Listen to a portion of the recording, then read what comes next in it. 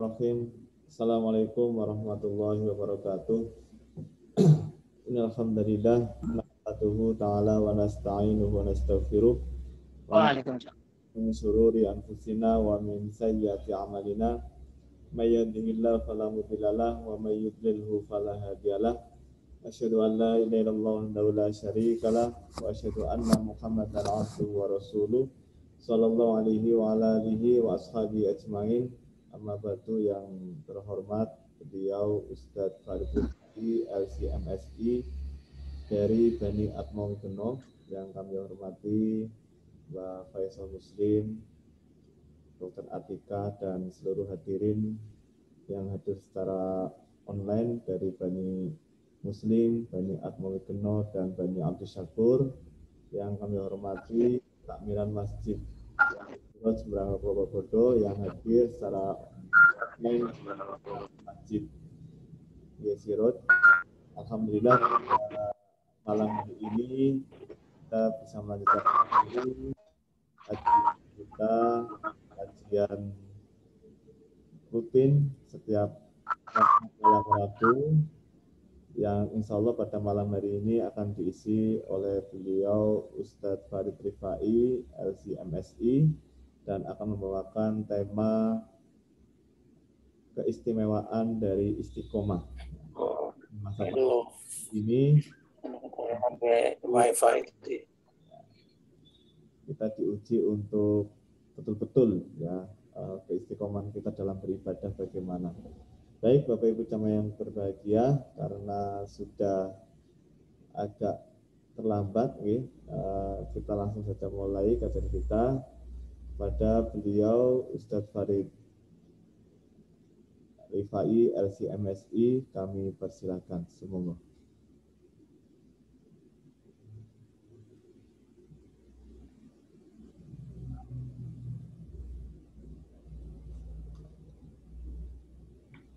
Halo Mas Farid, monggo.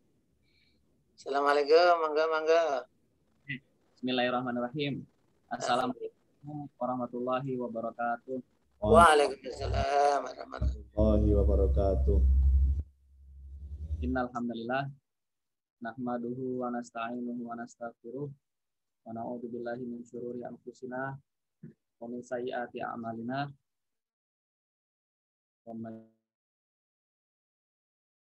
La ilaha illallah wa nashhadu anna Muhammadan abduhu wa rasuluhu la nabiyya ba'dah. Allahumma shalli wa sallim wa barik ala Muhammad wa wa ashabihi wa tabi'in wa tabi'it tabi'in wa man tabi'ahum bi ihsanin ila yaumiddin. Amma ba'd.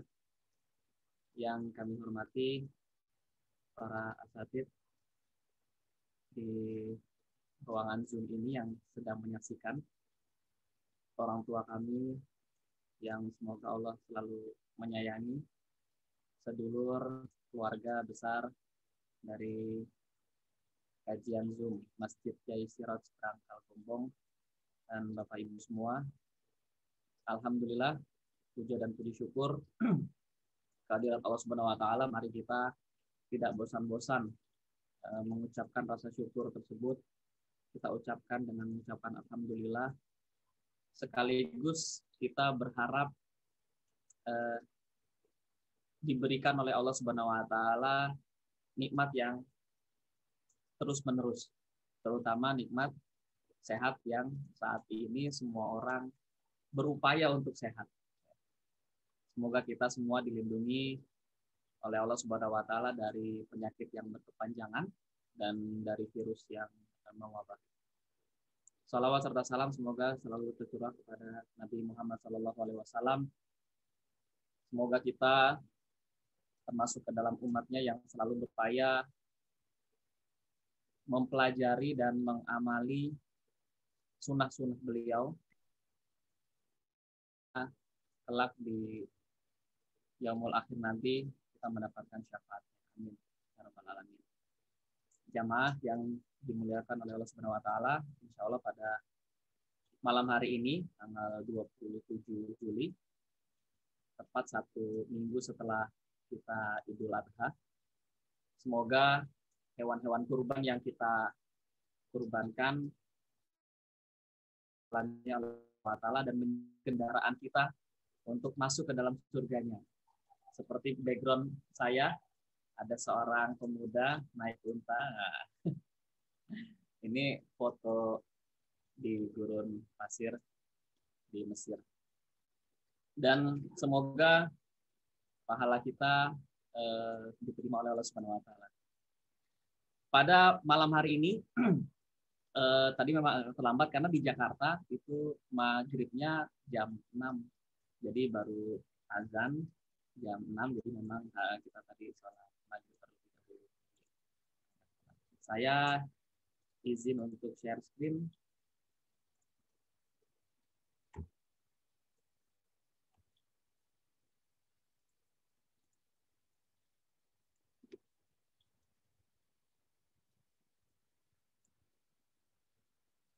Oke, sudah kelihatan ya.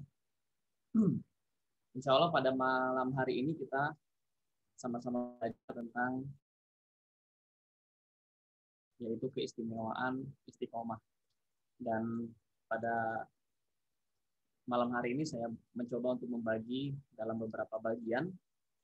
Eh, yang pertama adalah tentang apa itu istiqomah. Kemudian pentingnya istiqomah itu apa.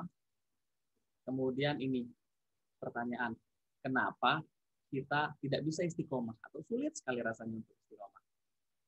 Dan eh, nanti ada tips juga cara-cara agar kita bisa istiqomah dan akhir doa memohon kekuatan untuk istiqomah. Karena ada satu doa yang Nabi Muhammad SAW itu hampir setiap hari selalu mengucapkannya. Nanti kita akan sampai di tentang istiqomah. Maka istiqomah ini kalau kita sederhanakan, dia adalah usaha atau upaya kita untuk tetap tegak dan lurus di jalan Allah Subhanahu wa taala. Nah, jalan keistiqomahan ini disebut dengan mustaqim. Seperti dalam surat Al-Fatihah ke-6 yang selalu kita baca dalam uh, salat kita, ihdinas siratal mustaqim. Tunjukkanlah jalan yang lurus. Ya. Sebaliknya, jalan yang tidak lurus adalah jalan orang-orang yang Allah sesatkan. Itu jalan yang tidak lurus. Berarti Allah yang beri petunjuk adalah orang uh, jalan yang lurus. Nah, kita kita berupaya untuk tetap berada di jalan yang lurus itu. Artinya, orang yang istiqomah, orang yang berupaya untuk uh, selalu istiqomah adalah orang yang berada di jalan yang lurus, jalan yang Allah ridhoi. Nah ini yang kita akan coba uh, cari tahu bagaimana uh, caranya kita tetap istiqomah. Kemudian apa keistimewaan istiqomah? Setidaknya ada tiga. Yang pertama, istiqomah itu eh, Allah janjikan surga kepada mereka. Jadi ketika seseorang mampu menjalankan aktivitas ibadahnya dengan eh, istiqomah, maka ia akan mendapatkan pahala yang terus-menerus. Sebagaimana firman Allah, Innalladzina qalu rabbunallah tsumastaqamu tatanazzalu alaihimul malaikah alla takhafu wa wa basyiru bil jannati lati kuntum tu'adun. Sesungguhnya orang-orang yang mengatakan Tuhan kami ialah Allah. Ya kan bersyahadat. Kemudian mereka meneguhkan pendirian mereka di jalan Allah itu, maka malaikat akan turun kepada mereka dengan mengatakan janganlah kamu takut dan jangan merasa sedih dan gembirakanlah mereka dengan jannah yang telah dijanjikan oleh Allah Subhanahu wa taala. Jadi kita eh, bersyahadat ya berikrar bahwa Tuhan kita adalah Allah Subhanahu wa taala, kemudian kita eh, istiqomah di jalan Allah Subhanahu wa taala. Maka orang-orang yang istiqomah itu adalah orang-orang yang biasanya itu orang-orang yang tenang karena dia tahu dia akan dijanjikan oleh surga oleh Allah Subhanahu wa taala. Jadi kalau eh, orang-orang yang istiqomah ini dizolimi misalkan, dia mendapatkan menerima kezoliman yang luar biasa, maka dia tenang menghadapi itu karena dia tahu nanti di surga ada balasannya. Kemudian dia tahu dengan kezaliman yang dia ini akan membawa dia masuk. Jadi orang-orang yang uh, istiqomah ini orang-orang yang tahu bahwa dia akan dijanjikan oleh uh, surganya, maka dunia ini terasa biasa saja, dunia ini terasa kecil gitu. Karena dia tahu surga itu lebih dari segala-galanya. Ketika mungkin misalkan tetangganya beli mobil baru, dia masih motornya itu itu aja sudah lima tahun 10 tahun belum ganti-ganti tenang aja nggak ada masalah. Nggak apa-apa. Insya Allah dengan lama ini akan membawa saya ke surga. Ketika orang yang istiqomah mendapatkan rezeki yang banyak dia juga tidak lantas menjadi sombong karena dia tahu dengan harta yang Allah titipkan kepadanya itu bisa memberikan jalan kepadanya ke surga jadi enak sekali orang-orang yang eh, istiqomah karena dia tahu Allah akan menjadikan surga kepadanya. Kemudian keutamaan istiqomah yang kedua adalah amalan yang Allah cintai. Istiqomah juga sering diartikan sebagai sebuah amalan yang konsisten, ajib ya. Terus gitu. Jadi meskipun amalan itu kecil, tetapi bila dilakukan secara konsisten terus-menerus, maka itu lebih baik dibandingkan amalan yang banyak, besar, tapi jarang-jarang dilakukan. Ya kan? Amalan seperti ini dijelaskan sebagaimana pada hadis pada hadis Nabi Shallallahu Alaihi Wasallam berbuat sesuatu yang tepat dan benarlah kalian dan amal yang paling dicintai Allah Subhanahu Wa Taala adalah amalan yang terus menerus meskipun sedikit. Jadi uh, milikilah amalan-amalan unggulan kita gitu supaya nanti ketika kita dipanggil oleh Allah Subhanahu Wa Taala itu bisa kita jadikan uh, wasilah. Ya, sholat duha dua rakaat setiap hari misalkan kita upayakan terus konsisten meskipun dua uh, rokaat. Jangan ah besok saya sholat duha langsung deh 12 rokaat gitu. Nah, 12 rokaat ini buat enam hari ke depan gitu. Jadi seminggu sekali sholat duhanya. Enggak gitu. Jadi uh, kita upayakan untuk uh, konsisten setiap hari sholat duha, setiap hari kita uh, tahajud meskipun hanya dua rokaat, setiap hari kita uh, sedekah, uh, sedekah subuh misalkan meskipun hanya 2000, 10.000 tapi rutin setiap habis subuh kita sedekah gitu. Uh, bukan insya Allah itu adalah amalan yang Allah cintai dan itu nilainya luar biasa dibandingkan amalan yang besar tapi jarang-jarang. Kemudian keistiqomahan eh, keutamaan istiqomah berikutnya adalah terhindar dari kesedihan dan kekhawatiran. Masih di ayat yang sama, orang yang senantiasa istiqomah itu akan terhindar dari kesedihan dan kekhawatiran. Jadi tenang hidupnya. Dua rasa yang sering kali mengganggu kita manusia sehingga tidak untuk beramal ya aduh takut besok bisa makan atau enggak, aduh takut nanti kena COVID, aduh takut nanti saya kalau kena COVID pasti meninggal, belum tentu. Ya kan? Jadi di rumah terus. Jadi kalau terpaksa harus keluar rumah mencari nafkah, ya mau bagaimana? Kita tetap keluar rumah, kita tetap berupaya uh, menjaga uh, protokol kesehatan gitu. Karena uh, semua orang yang kena COVID belum tentu semuanya meninggal, yang sembuh kan gitu.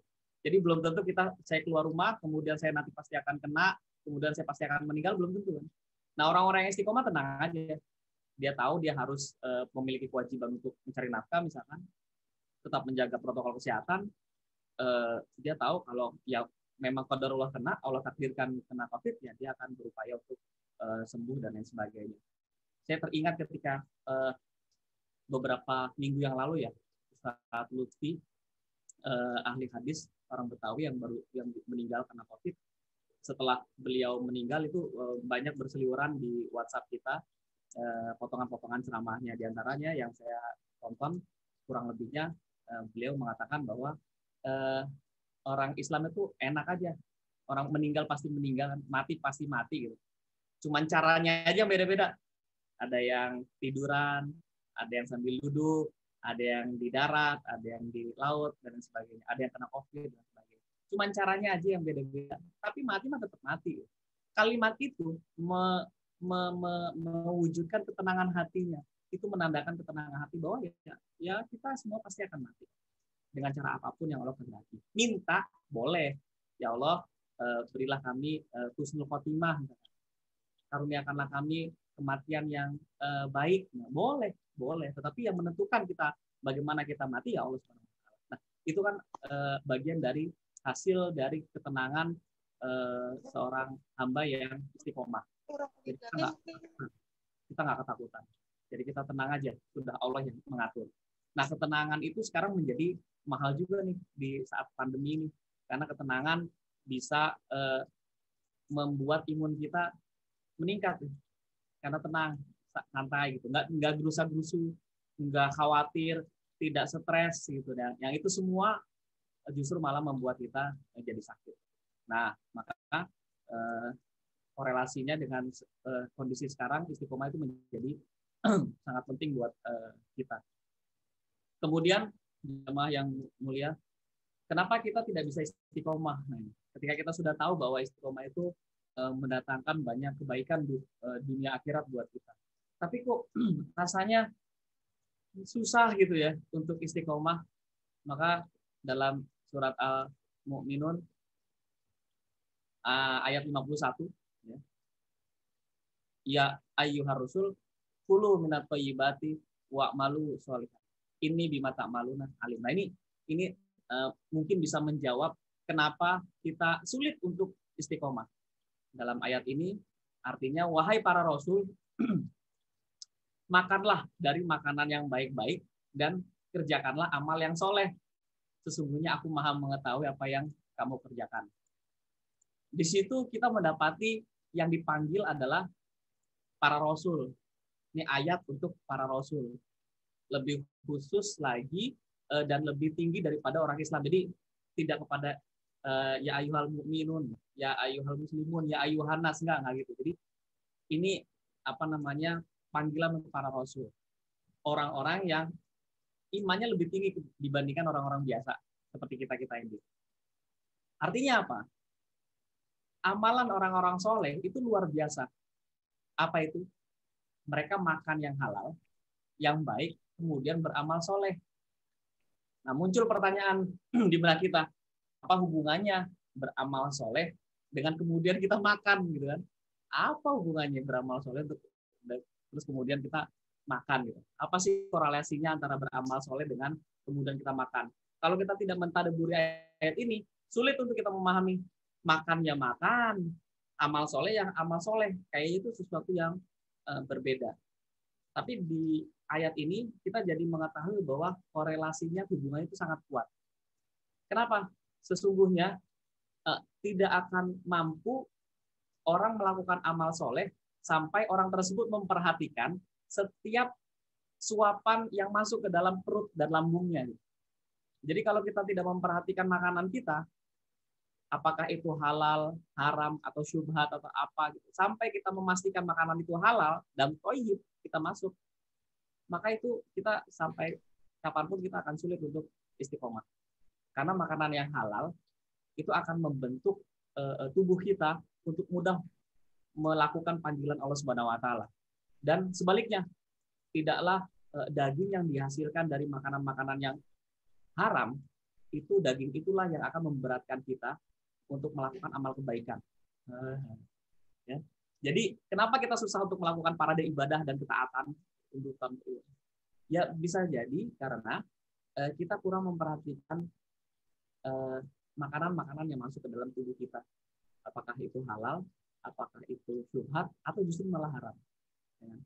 Jadi kalau ada yang bertanya, misalkan kenapa ya susah sekali bangun untuk tahajud, maka Iya, kenapa susah sekali bangun tahajud gitu? Kok bangunnya jam setengah lima kalau di Jakarta sekarang eh, jam setengah lima lebih ya, jam lima kurang seperempat. Kenapa sih bangunnya misalkan jam lima gitu? Waktu bahkan biasanya jam tujuh gitu. Susah sekali kita bangun sebelum uh, azan subuh misalkan. Boleh jadi gitu. Coba perhatikan eh, makanan-makanan yang kita konsumsi. Apakah itu benar-benar halal atau ada keraguan di dalamnya atau justru malah haram. Ya kan? Jadi parade ibadah dan ketaatan itu sulit untuk kita lakukan kalau kita belum memperhatikan eh, asupan makanan yang masuk ke dalam tubuh kita. Jadi kalau sudah eh, makanan tersebut sudah masuk ke dalam perut, maka seluruh seluruh saraf dalam tubuh kita itu mati gitu. Kalau yang kita konsumsi adalah makanan yang haram, mati dan padam dalam ketaatan. Jadi tidak menggerakkan kita untuk eh, ringan bangun malam ringan untuk memberikan kesesama, ringan untuk kita ambil wudhu kemudian sholat duha dan lain sebagainya. Jadi apa namanya? Eh, mari kita perhatikan asupan-asupan makanan kita. Jadi kalau eh, kata Imam Ibnu Rajab, eh, inti sunnah itu ada tiga. Yang pertama itu adalah eh, jaga niat. Yang kedua adalah jaga dalil. Yang ketiga adalah jaga makanan yang masuk ke dalam perut kita, pastikan itu halal. Jadi sunnah itu sebenarnya cuma eh, tiga aja. Satu kita jaga niat. Jadi kalau kita ibadah harus dijaga tuh niat kita memang untuk lillahi taala. Yang kedua jaga dalilnya, pastikan ibadah yang kita lakukan itu memang ada dalilnya, kita tahu. Kemudian yang ketiga jaga makanan yang masuk ke dalam kita, eh, pastikan itu halal. Jadi jangan remehkan makanan yang kita konsumsi. Karena sesungguhnya yang datang dari haram itu tidak pernah mengajak kita kepada petunjuk jalan surga. Sesuatu yang datang dari yang haram itu nggak akan membawa kita kepada sesuatu yang uh, halal, nggak akan membawa kita ke dalam uh, apa menuju kepada surganya, gitu. Jadi uh, orang yang soleh rata-rata itu semuanya lah, semua orang soleh itu pasti menjaga uh, makanannya. Maka pernah nggak kita dapati cerita misalkan para rasul itu eh, berhenti berdakwah? Atau berhenti beribadah? Mereka terus semangat. Nabi Shallallahu Alaihi Wasallam kurang apa lagi coba? Dihina diusir eh, dilempari kotoran diancam dibunuh wah kalau kita kan pasti ah sudahlah saya berhenti deh jadi rasul gitu ya ah udahlah saya berhenti berdakwah lah saya mau menyelamatkan keluarga saya saja gitu kan tapi kan subhanallah para rasul. Mau diapain aja tetap aja dia tetap berdakwah. Kenapa? Karena mereka selalu menjaga makanan kuat. Energinya tuh ada. Energi yang berasal dari halal membawa uh, mereka untuk teguh di jalan Allah Subhanahu wa taala. Maka sederhana, kalau mau lihat orang itu soleh atau tidak, lihat bagaimana ia memperhatikan makanannya. Kalau dia memperhatikan makanannya, itu halal atau tidak, berarti dia insya Allah Tapi kalau cuek aja, misalkan beli produk uh, impor gitu misalkan kan, kan kalau kita ke supermarket itu banyak tuh produk-produk impor gitu. Diimpor dari Thailand, diimpor dari mana. Kadang-kadang kita suka menemukan produk-produk itu belum ada label halalnya gitu. Kalau kita, ah udahlah Bismillah aja deh. ah udahlah pasti halal lah orang dari, dari ikan misalkan gitu. Ada. Nah kalau kita uh, menggampangkan boleh jadi uh, itu apa namanya alasan kenapa kita terkadang sulit untuk istiqomah. Tapi kalau kita melihat ada orang yang sangat perhatian, aku belum ada label halal, saya nggak mau. Nah, itu berarti dia insya Allah orang yang soleh karena dia memperhatikan betul uh, makanan yang dikonsumsinya. Uh, Dan kisah-kisah, misalkan pernah saya lupa itu apakah uh, cucu Nabi Hasan atau Husain, tapi yang jelas pernah uh, cucu Nabi ambil kurma zakat. Kita tahu para rasul dan para keturunannya tidak boleh ambil harta zakat, kemudian cucu beliau uh, makan ambil kurma kemudian dimakan. Dilihat oleh Nabi Shallallahu Alaihi Wasallam. Kemudian apa yang dilakukan oleh Nabi Shallallahu Alaihi Wasallam? Nabi merogoh tangannya ke dalam mulutnya cucunya Nabi. Sampai muntah kembali kurmanya dimuntahkan kembali karena beliau tahu konsekuensi mengkonsumsi makanan yang tidak halal. Kemudian ada kisah Abu Bakar suatu saat Abu Bakar disuguhi makanan oleh mantan budaknya. Kemudian Abu Bakar makan. Setelah selesai makan, Abu Bakar nanya kepada eh, mantan budaknya ini, kamu dapat dari mana makanan itu? Kemudian eh, mantan budaknya bercerita, wahai Abu Bakar, sebelum saya masuk Islam, saya adalah seorang peramal, ahli nujum. Kemudian datang seorang yang minta bantuan sama saya, kemudian saya bantu dia, saya ramal dia.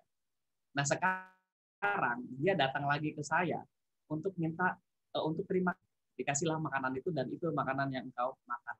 Oh. Itu bakar langsung merogoh tangannya masuk ke dalam kerongkongannya sampai makanan yang baru dimakan itu dimuntahkan kembali. Karena karena beliau tahu konsekuensi makanan yang syubhat, makanan yang tidak halal. Ada lagi kisah seorang pemuda uh, ini sederhana apa namanya uh, disingkat aja ceritanya seorang sahabat uh, sedang pergi untuk belajar ilmu suatu saat di tengah perjalanan dia menemukan ada buah apel karena lagi kelaparan kehausan dia makan itu buah apelnya setelah apelnya itu habis dia baru sadar bahwa dia belum izin sama pemilik apel itu jadi nggak tahu tuh pemilik apel buah apel itu siapa gitu apa yang dilakukan sang pemuda tersebut? Dia mencari ke kanan ke kiri, celingupkan. Ini kira-kira yang punya buah apel ini siapa ya? Dia cari sampai ketemu eh, kebun apel, satu-satunya kebun apel yang ada di sekitar situ. Kemudian dia masuk kebun apel yang besar sekali, dia temui orang yang ada di sana, tukang kebunnya, kemudian dia bertanya, Wah, wahai Bapak, uh, saya habis makan apel di sekitar sini. Mungkinkah ini apel dari kebun ini? Kata si tukang kebun, iya mungkin itu uh, apel dari kebun ini karena uh, kebun ini satu-satunya kebun penghasil apel di sekitar sini, nggak ada lagi yang lain. Kemudian sang pemuda bertanya, siapa yang punya kebun apel ini? Saya mau minta di, di apa ya? Saya mau minta izin supaya diikhlaskan apel yang saya telah makan. Oh iya, kamu bisa pergi ke sana. Gitu. Ditunjukkanlah alamatnya dan ternyata alamatnya itu adalah di desa yang lain dan itu berlawanan arah dari tujuan perjalanannya dia jadi dia mau menuju ke barat ternyata rumah si pemilik kebun apel ini ada di sebelah timur mau nggak mau dia pergi ke pemilik kebun ke desa sebelah dan singkat cerita ketemu dengan pemilik kebunnya kemudian dia bercerita bahwa uh, dia makan apel dari kebunnya dia kemudian dia minta tolong diikhlaskan diridoi buah apel yang telah dia makan tanpa izin si pemilik kebun. Kemudian si pemilik kebun itu tahu bahwa ini orang orang soleh, ini orang orang bukan sembarangan gitu kira-kira. Kemudian apa yang dia sampaikan si pemilik kebun, saya ikhlaskan apel itu dengan satu syarat. Apa syaratnya? Kamu nikahi anak saya gitu. Kamu nikahi putri saya. Waduh, gara-gara apel aja disuruh nikahin anak orang gitu. Tapi anak saya, anak putri saya itu dia bisu, tuli, dan buta. Gitu. Coba bayangin. Kita mau minta izin diikhlaskan. Kalau kita paling, ah udahlah saya beli deh, saya tambahin nih 2 kilo misalkan gitu kan. Udah berapa harga apel sih saya tambahin. Mungkin kita seperti itu, tapi ini enggak. Demi demi keikhlasan buah apel itu, akhirnya dia menikahi uh, putri dari pemilik kebun. Dan setelah proses akad nikah selesai, dia disuruh masuk ke kamar. Kemudian ketika dia masuk ke kamar, dia mengucapkan salam. Assalamualaikum. Gitu. Ternyata ada jawaban dari dalam kamar. Waalaikumsalam. Kaget dia. Wah ini apa? Jangan-jangan salah kamar gitu kan. Ternyata masuk dia melihat uh, istrinya yang cantik jelita dan tidak buta dan tidak tuli dan tidak bisu. Kemudian dia bercerita, kenapa kok kata ayah kamu Eh, putrinya eh, bisu tuli buta gitu. Oh iya karena ayah saya eh, itu tidak pernah mempertontonkan kepada saya suatu hal yang haram. Tidak pernah mendengarkan kepada saya, tidak pernah berucap sehingga saya mendengar sesuatu yang haram dari dia dan tidak pernah apa saya berucap sesuatu yang haram. Nah dari situ dari kedua pemuda-pemudi ini yang menikah lahirlah ulama besar Imam Abu Hanifah. Nah ini kisah-kisah tentang bagaimana orang-orang salafus soleh zaman dulu, ya kan, para sahabat tabiin tabiin eh, sangat menjaga makanan yang masuk ke dalam tubuhnya. Nah, ini kira-kira. Jadi apa namanya? Pen, eh, kenapa kita tidak bisa istiqomah? Mari kita introspeksi diri. Buat saya juga gitu. Jangan-jangan ada banyak makanan yang syubhat yang masuk ke dalam tubuh kita sehingga kita sulit untuk uh, beribadah. Kemudian uh, jamaah yang dimuliakan oleh Allah Subhanahu wa taala uh, kita jauh sekali dengan baginda Nabi Shallallahu alaihi wasallam kadar ibadah kadar imannya juga jauh sekali bagaikan langit dan bumi. Bagaimana tidak? Nabi itu pada saat sholat itu sampai kakinya itu bengkak saking lamanya kemudian Nabi Shallallahu alaihi wasallam ketika membaca ayat-ayat tentang azab ketika saat sholat itu hatinya bergetar Nangis beliau. Kalau kita mungkin kaki kita bergetar karena kelamaan gitu. Aduh, imamnya lama. Atau kalau kita eh, sholat sendirian sebelum kaki kita bergetar kita udah rukuk duluan ya. Tapi Nabi Shallallahu Alaihi Wasallam enggak. Nabi masih sholat lama gitu dan begitu menghayati. Dengan ibadah yang luar biasanya, ya, dengan ibadah yang luar biasa yang dilakukan oleh beliau, ternyata beliau masih meminta terus setiap hari agar diberikan keteguhan untuk apa? Untuk taat kepada Allah Subhanahu wa taala, untuk tetap istiqomah, untuk diberi kekuatan berada di jalan yang lurus. Lah kita yang bagaimana dengan kita? Kita yang masih labil imannya, kita yang eh, imannya naik turun, kita yang kadang-kala malas-malasan ibadahnya, kita yang malas kadang-kala malas-malasan kepada Allah untuk minta doa gitu. Habis selesai doa udah selesai gitu kan, kabur gitu. Jangankan setiap hari, jangankan setiap pekan, setiap bulan aja belum tentu kita ngucapin doa ini sekali gitu. Tapi Nabi Shallallahu Alaihi Wasallam baca doa ini setiap hari. Apa sih doanya? Gitu. Ya kan? Doanya adalah ya muqallibal qulub tabbit qalbi ala dini.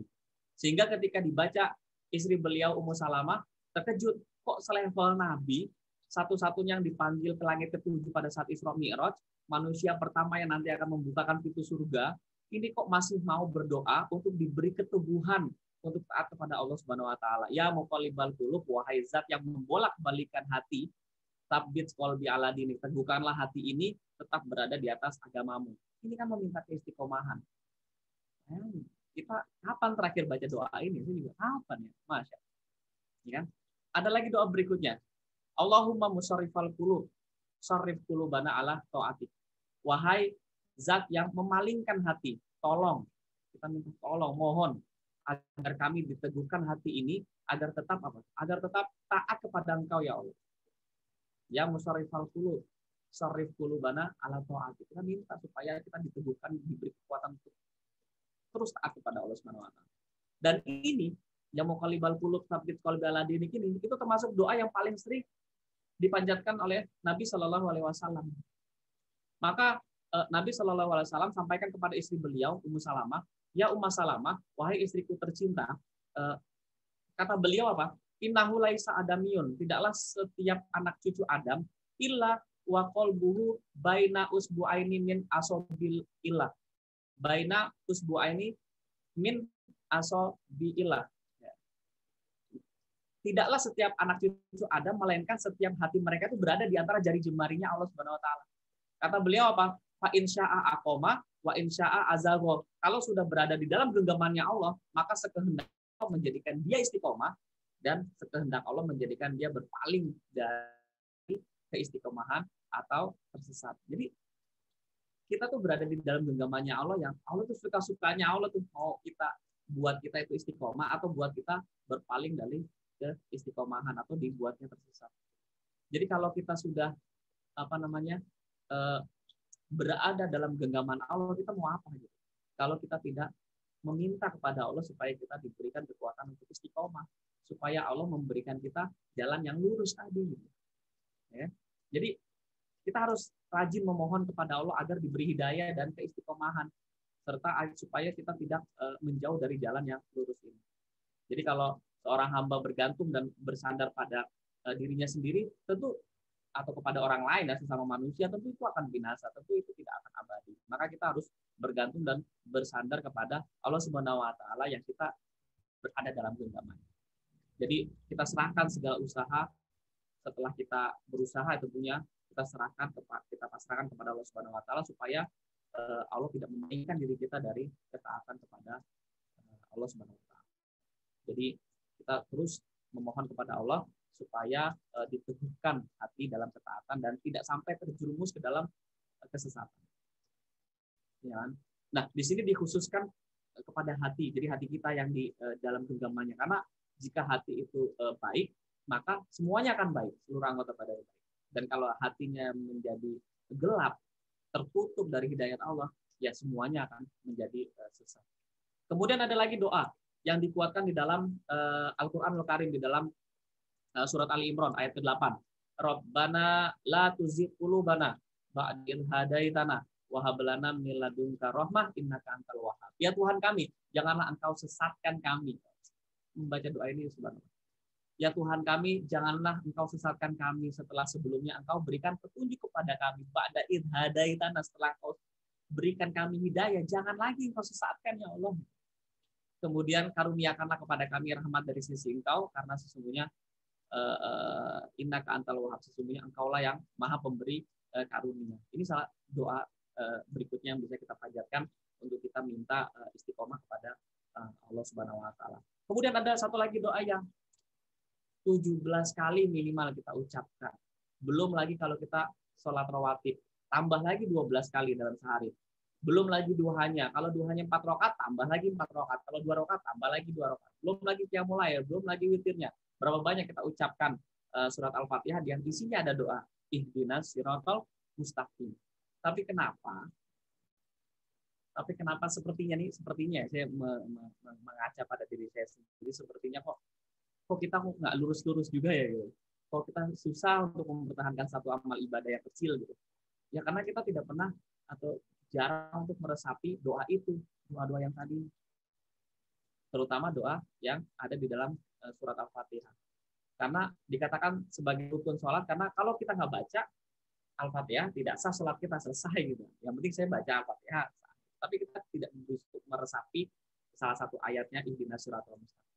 Maka eh, mari kita pikirkan firman sesungguhnya Allah Subhanahu wa taala berfirman wali abdi masaal dan bagi hambaku apa yang ia minta. Jadi mari kita minta terus menerus. Kita minta apa? Kita minta untuk tetap diberi kekuatan eh, supaya istiqomah di jalan Allah Subhanahu wa taala. Kemudian tips agar kita bisa istiqomah. Yang pertama, luruskan niat dan tujuan. Kita tahu segala sesuatu amal ibadah bergantung kepada niatnya. Ada uh, kisah zaman dulu uh, sahabat masuk Islam karena ingin menikahi seorang wanita uh, Islam, ya hanya mendapati pahala itu saja selesai gitu. Tidak lebih dari itu. Jadi semua bergantung kepada niatnya dan bisa mengubah amal ibadah kita.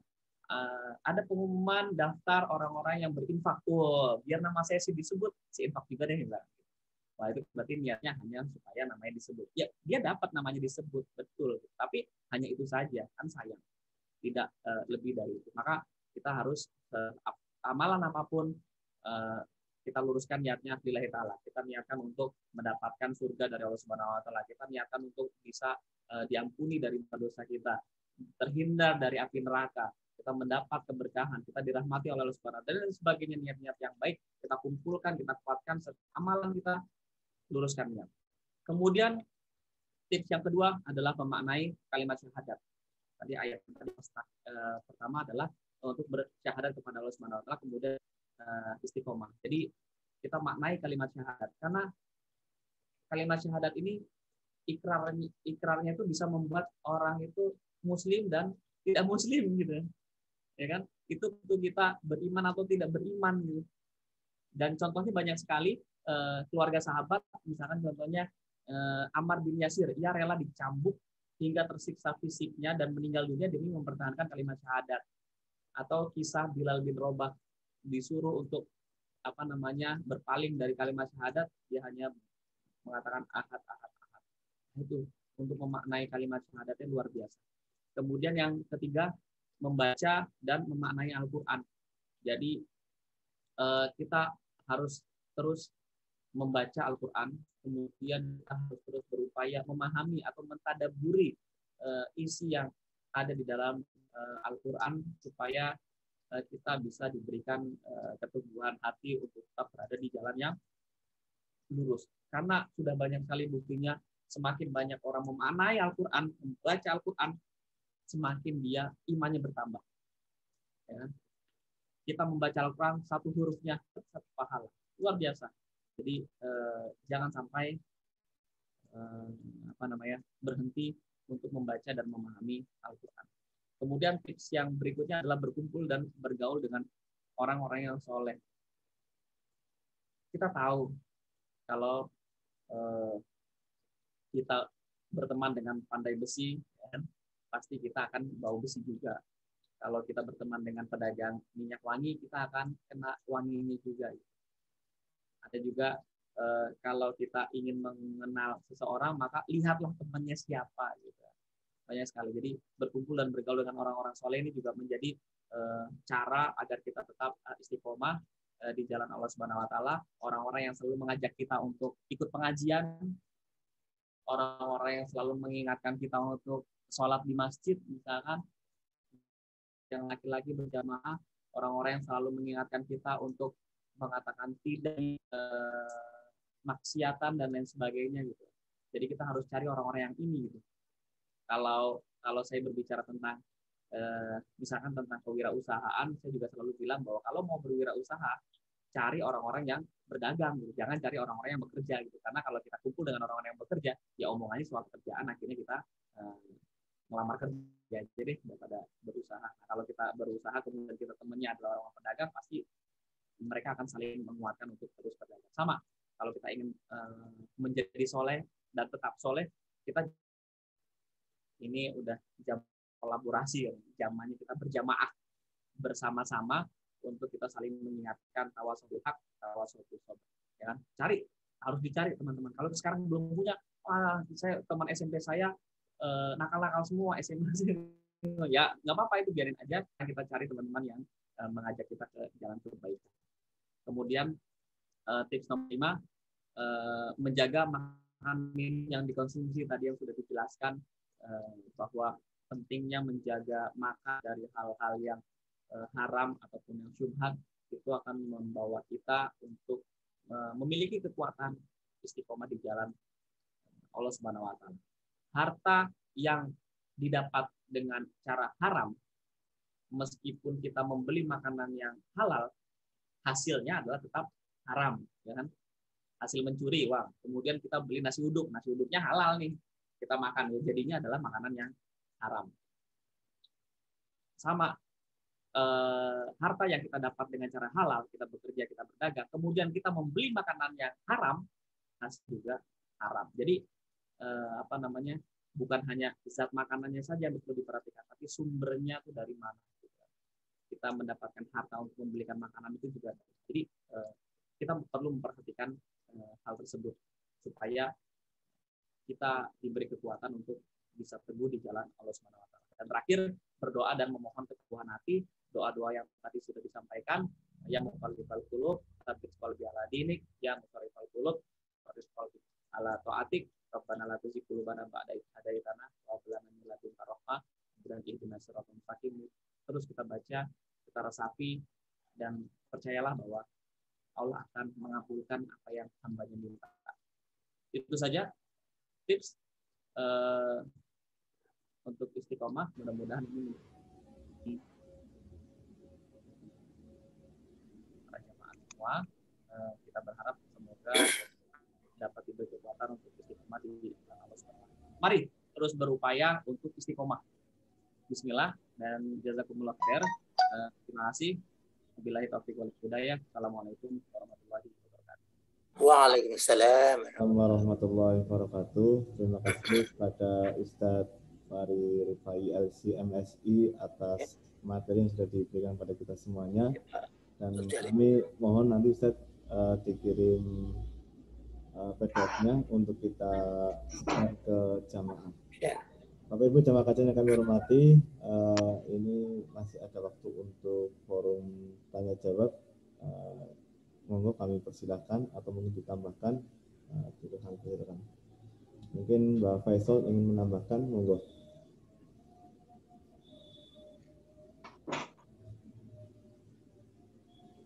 Mas? Oh, oh. Assalamualaikum warahmatullahi wabarakatuh. Waalaikumsalam warahmatullahi wabarakatuh. Pertama kali terima kasih Mas Mahi, Mas Mahi dan juga pada Ustadz kita Mas Farid. Alhamdulillah kita selalu istiqomah karena tadi kita katakan kita tiap kali kan ihdinas suratal mustaqim jadi jalan tol itu supaya jangan sampai belak-belok. Keduanya uh, wa ta'amanu bil birri wa taqwa gitu. Saling tolong menolong kalau kita banyak perangnya. Nah dalam hal ini mari kita jamaah kita juga ustadz kita itu sedang yaitu Ustadz Muhammad Sukri dan keluarganya dan juga Ustadz Muhajir di Lampung. Monggo kita berdoa semoga mereka Anu Yono juga. Siapa? Yono istrinya. Oh gitu ah keluarga uh, Didin ya belum anu. Didin ya, masih Didin. Ya, saya sama. Mari kita doakan semoga mereka mendapat pertolongan Allah kuat dan tetap sehat kembali. Ya Rabbanas, Isfi. Amin. Uh, Isfinan ويسمعون أنت الشافي لا شفاء إلا شفاء شفاء لا يغادر سقما Ya Allah moga saudara-saudara kita mendapat perlindunganmu dan pertolonganmu untuk tetap sehat kembali menjadi hamba-hambamu yang soleh insya Allah uh, mari kita tutup Bapak Mas Mahid Jadi, terima kasih atas pertanyaan, atas doanya. Mudah-mudahan Allah segera mengangkat penyakit saudara-saudara kita yang sedang terkena sakit terutama sakit covid. Dan tadi yang saya eh, tangkap dari kajian adalah tetap eh, kita untuk tenang sabar eh, dalam menghadapi ujian ini dan selalu meningkatkan keistiqomahan kita baik Bapak Oh ya, azan kita. Iya. Jamaah eh, kajian yang hormati, eh, kita tutup kajian kita pada malam hari ini dengan doa penutup majlis. Subhanallah. Allahumma bihamdika asyhadu an la ilaha illa anta astaghfiruka wa atubu ilaik. Nasrun minallah wa fathun qarib wa bil taufiq wal hidayah. Assalamualaikum warahmatullahi wabarakatuh. Waalaikumsalam. Monggo kami persilakan untuk forum uh, apa forum